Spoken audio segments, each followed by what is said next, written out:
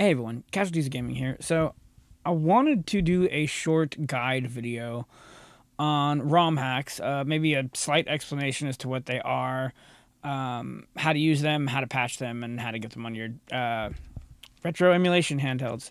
Uh, uh, there's been a few people that have been shocked that these sorts of devices, the cheaper ones anyway, will run them.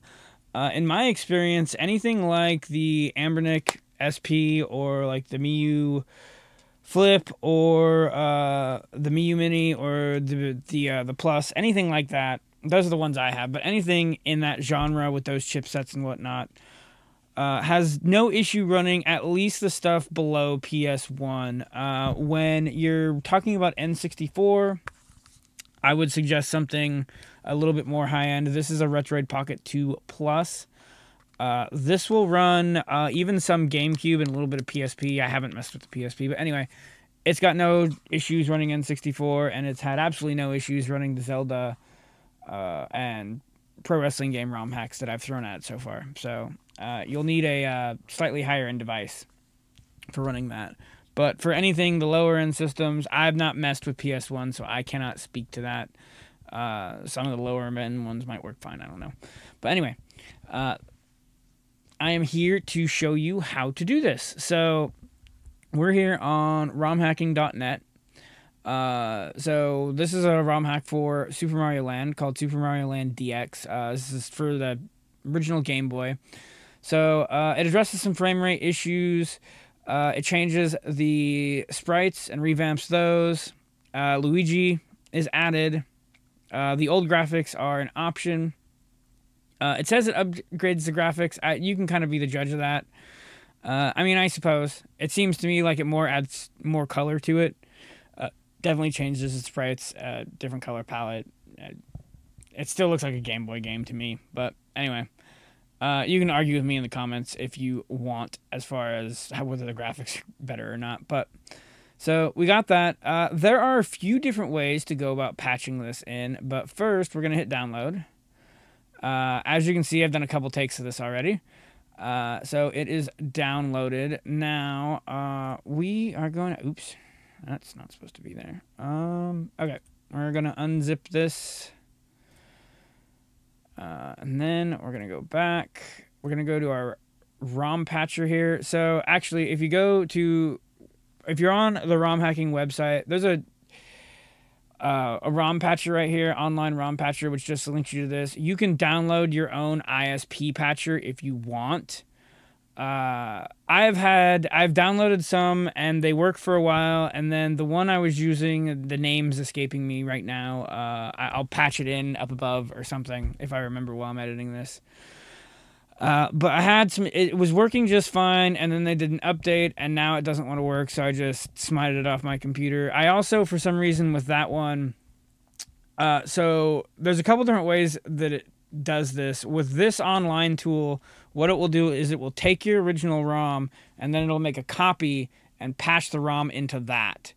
Uh, you got to watch some of the uh, the ones that you actually download will not actually give you an option and they will just take your ROM and they will patch it and then you're up shit's creek without a paddle as far as uh, you know your original ROM. So you'd need to then source that ROM however you may get it I'm not here to lecture you about you know how you get them or where you get them. That's you know up to you and how you do it. But anyway um, so when you just come into this, uh, these aren't going to be here. They'll be empty. But uh, this one wants the ROM file, so you'll just hit Browse. And you'll navigate to where your ROM is. So this is obviously where the ROM, but if you wanted to I'd go to desktop, go to retro games for me. Uh, games. Uh, it is in Game Boy, and then in this file, and then it's just right there. So I hit open, uh, hit browse, um, so obviously it's already open, but I go to download. I just unzipped it out of the download files. Um, you can see I've been a little busy with uh, with ROM hacks. It's kind of what I do, but so click that. It's a it's an ISP file, and we hit apply patch. It will apply the patch. We can get out of here and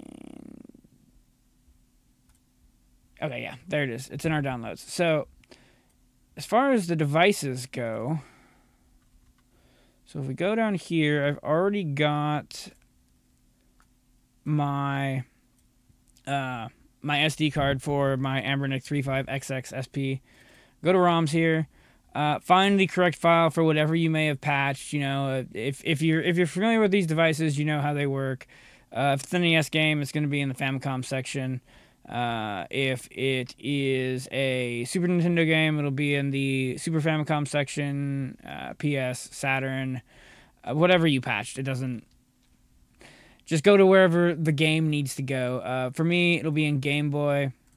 So if you notice, I've already got uh, the game patched in here. So notice for one that I have Super Mario Land already on here. So one thing that I did do uh, in the take before this is I renamed it to Super Mario Land DX, which is the name of the ROM hack. You don't necessarily have to do that because when you patch it, it will just give you the name of the game and then it'll say patched here. Uh, I always rename them.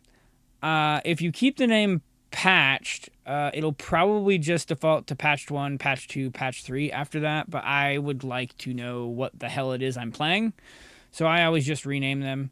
Uh, as far as doing that, if you're in Windows 11 like me, uh, which adds a new step to everything, you can hit rename. And then if we just do this the way I did it. Uh, actually, if we keep the parentheses and just shift DX, the name is completely different, and so it wouldn't even override it. It would just copy straight over. Oops, I accidentally patched in the, uh, well, okay, yeah. Don't accidentally patch your patchers or your ROM, uh, your ROM hack ISP. Don't, uh, yes, I do. Anyway, sorry, I didn't mean to do that. But anyway, that is how you patch ROMs and get them on your devices. Uh, after this is over, I'm to go ahead and toss this in here. Uh, I might have to hit refresh in the operating system uh, to get it to read it. It just uh, sometimes does, sometimes doesn't. But that's how you patch your ROMs. So, real quick, the last video I did, I know that there was some syncing issues with the audio, and it's driven me crazy. I'm not using uh, Streamlabs anymore. Uh, I've switched over to OBS. Uh, Streamlabs has been giving me issues with the syncing of the videos and all of that, and I think there's two or three I've got now that are like that, and it kind of drives me crazy. I've thought about privating them. Maybe I will later. Uh, I, I don't know. As a viewer, you can let me know whether it drives you crazy or not. It certainly drives me crazy. But um, I've switched over to OBS. Uh, Streamlabs, for whatever reason, uh, my settings seemed to be changing randomly. I can't really explain it. I've been using OBS for a whole two days now, ever since the last video, basically. I haven't noticed that issue yet. It's more or less the same thing. They're the same company or they're linked or whatever. So there's still going to be a little bit of a learning curve. So bear with me on that a little bit, but it seems to be working fine right now. So, anyway, that is it. I've been Casualties of Gaming. You have learned about ROM hacks and how to patch them in, I guess and get them on your little retro gaming devices. And uh, if you like this kind of content, uh, like, comment, subscribe, share, all that stupid shit YouTubers ask you to do. And I will talk to you later.